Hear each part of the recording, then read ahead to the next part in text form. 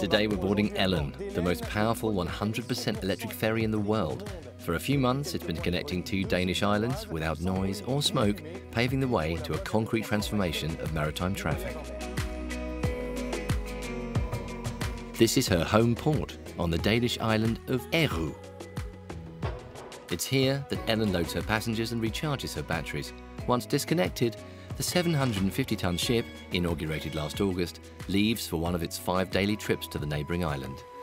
This project was co-financed by the European Union in cooperation with islanders eager to achieve carbon neutrality.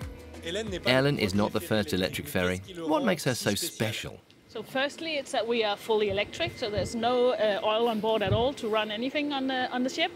Uh, and secondly, it's the distance that we cover, which is 22 nautical miles. That's seven times what the existing electric ferries have covered.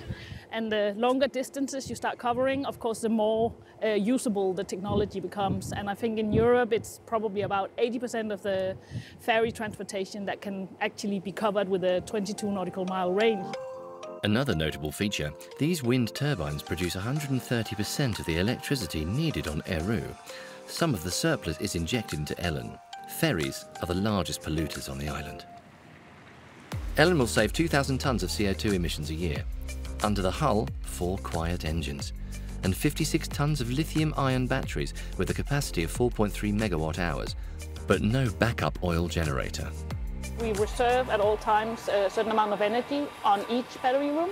So um, if you lose a battery room or have to shut it down for some reason, there will always be guaranteed to be enough energy left on the other room to sail back to harbour, to, uh, to do all the emergency procedures that could be involved in, a, in a, an emergency at sea. Upstairs, all the comforts of a classic ferry and even more no noise or smell to ensure a quiet crossing for passengers. And the crew have quickly become familiar with this new tool.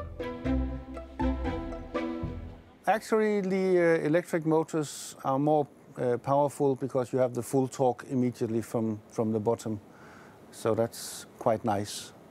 You can almost drive her like a speedboat. To further our understanding, we traded the Baltic Sea for the Swiss lakes. We are now in Switzerland. This energy storage company was selected to power the ferry. This battery manufacturer has developed several innovations to meet the requirements of the project in terms of safety and efficiency. Its CEO is convinced that lithium-ion batteries will play a central role in achieving the electrification required by the international maritime authorities. Nearly 12% of CO2 emission in Europe comes from marine traffic in European Economic Area is 13% for cars. We need to focus on this sector. This will be the fastest route to reduce carbon emission in Europe. This is just the beginning. The company already has 25 orders for electric ships, some even larger than Ellen.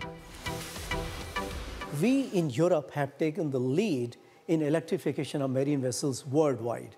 The e-ferry project will give crucial operational data, safety data, will help set standards not only in Europe, but for the world.